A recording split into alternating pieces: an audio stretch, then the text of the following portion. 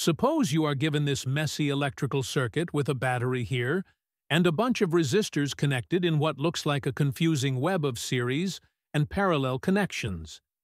Then someone comes and says, hey, I want to measure the voltage and current at each resistor, like say if I connect a voltmeter, which measures the voltage across two points, at this 15 ohm resistor. I want to know the value of the voltage that it will show. Similarly, if I connect an ammeter, which measures the current across two points, beside this 8 ohm resistor, then what will be the value of current that it will show?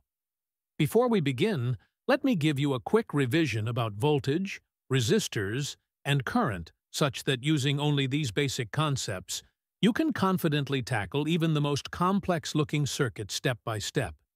You will never need anything else. If we have a resistor and a current flows through it in this direction, then the resistor acts like a voltage eater.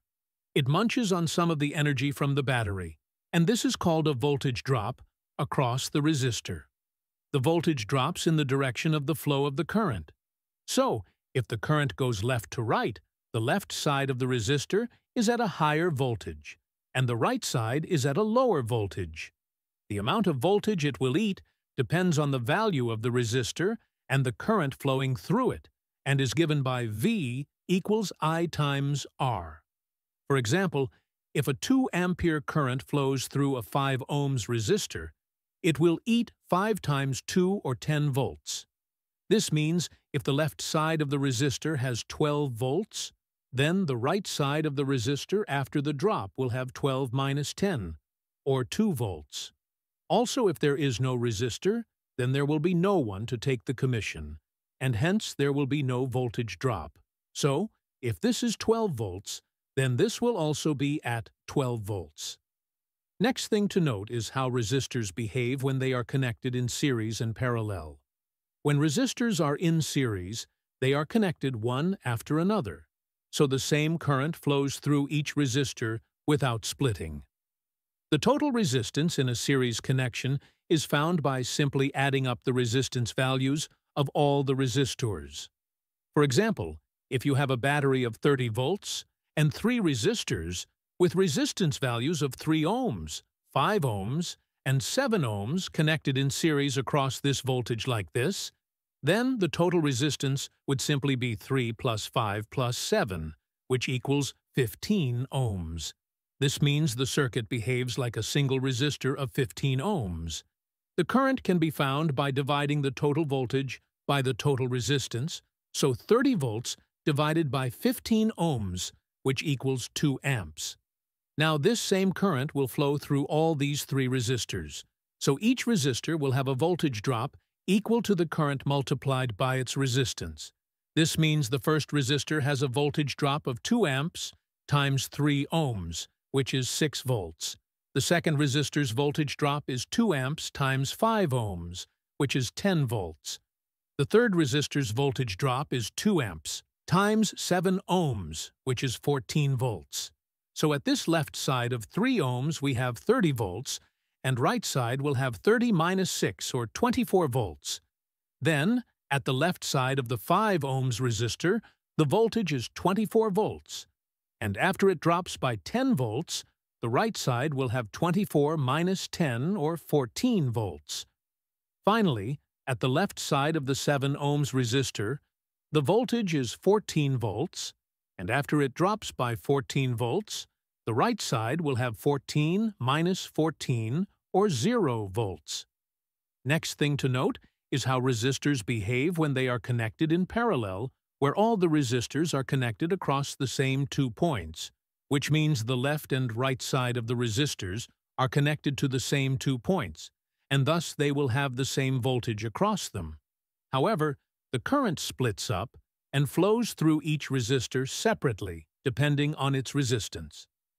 Unlike series, the total resistance in parallel is found by using this formula.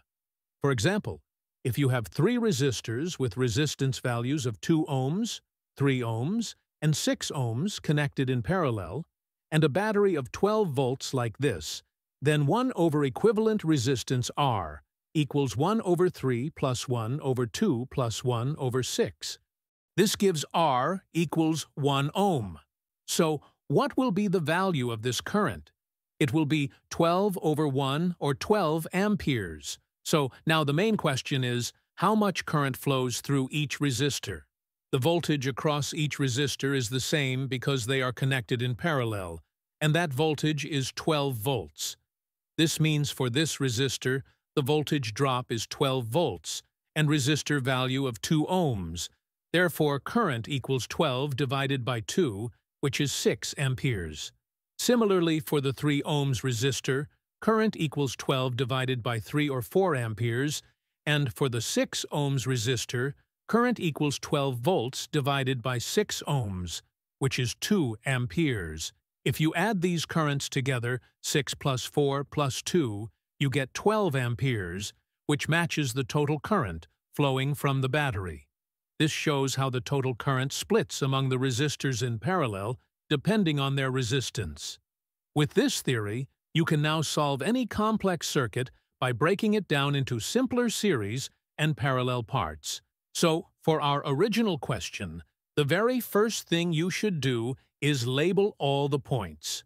Let us label this as A, then this point will have different voltage because of this resistor, which will drop the voltage of point A. So label this as B. Similarly, label this as C, then this as D, this as E. But wait, we don't have any resistor here, and thus there will be no voltage drop, which means both these points are the same.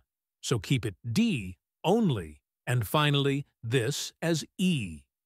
After that, across the battery label, the voltage value is zero on the negative terminal side, and at the positive terminal, label whatever voltage the battery is giving which is 84 volts in our case. Now here comes the trick. Imagine you cut the circuit from here and gently unfold it into a straight line. So what will you observe? This will be point A with voltage 84, and this will be point E with voltage 0. Now after A, put all points from B to E like this, in a straight line. We have only this 1 ohm resistor between points A and B. So put it here like this. We have only this 15 ohm resistor between B and C. Then draw point D. We have this 9 ohm resistor between C and D. But we have an 8 ohm resistor between point B and D. So put it here. But that's not it. We have a 3 ohm resistor between point B and D. So put it here like this. Finally, we have a 4 ohm resistor between point D and E. This is how to put the circuit in a straight line. This visual trick helps you clearly see which resistors are in series and which are in parallel. Now at each step, replace any group of resistors which are either in series or in parallel with their equivalent resistance. We first see that these two resistors are in series between points B and D, and their equivalent resistance will be 15 plus 9 or 24 ohms. What do you see next? Yes, right. These three resistors are in parallel, and we can find the equivalent resistance using 1 over R equals 1 over 3 plus 1 over 8 plus 1 over 24. This gives R equals 2 ohms. So make the equivalent 2 ohm resistor between B and D. Now what can be said about these three resistors between A and E? Yes, right. They are in series. So their equivalent resistance will be 1 plus 2, or 4 or 7 ohms. Wow, nice! So what do you think will be the current that will flow through the battery now? Since we have the total voltage as 84 volts and the total resistance as 7 ohms, the current will be 84 divided by 7 which is 12 amperes. Now, we will move in the reverse direction. Now, since all the three resistors between A and E are in series, this same 12 amperes will pass through each of them. What will be the voltage drop across this 1 ohm resistor? It will be 1 times 12 or 12 volts. So, if voltage at point A is 84 volts, then the voltage at point B is 84 minus 12, or 72 volts. Now, what will be the voltage drop across this 2 ohms resistor or across BD? It will be 2 times 12 or 24 volts. So if voltage at point B is 72 volts, then the voltage at point D is 72 minus 24 or 48 volts. This means the voltage drop across this 4 ohms resistor is 48 volts. Now, let us move one more step backward. Break this 2 ohm resistor into the original three resistors. The 24 ohm, 8 ohm, and 3 ohm resistors, all connected in parallel between points B and D. Now that we have the voltage drop across BD as 24 volts, the voltage drop across each of the three resistors is the same 24 volts. Now, let's find the current through each resistor. For the 24 ohm resistor, the current is 24 divided by 24, which is 1 ampere.